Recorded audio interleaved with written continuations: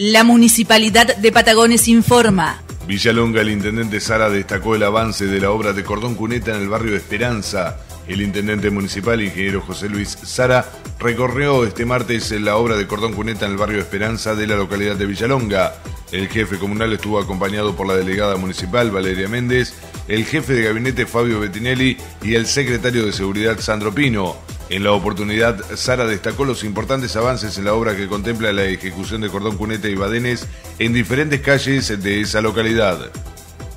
Con un predio colmado, Rocío Quirós cerró la fiesta de la soberanía patagónica el pasado lunes con un predio colmado. La cantante argentina y referente de la música tropical, Rocío Quirós, le puso el broche de oro a la fiesta de la soberanía patagónica. En esta ocasión, el jefe comunal le agradeció a la artista haber aceptado la invitación al evento que es muy valioso para el sentimiento de los maragatos y explicó el marco histórico de la celebración.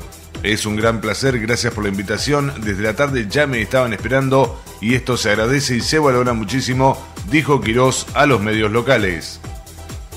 Sara presidió el acto de apertura de la Oficina Municipal de Género en Villalonga. Este lunes por la mañana el intendente municipal, ingeniero José Luis Sara, presidió el acto de inauguración de la Oficina Municipal de Género en la localidad de Villalonga. El acto se concretó en el marco del Día Internacional de la Mujer y la nueva dependencia fue canalizada a través del programa Comunidades sin Violencia. En este sentido, el jefe comunal resaltó la importancia del nuevo espacio en respuesta a las demandas de las localidades del interior. La nueva oficina estará ubicada en calle Irigoyen número 171 de Villalonga.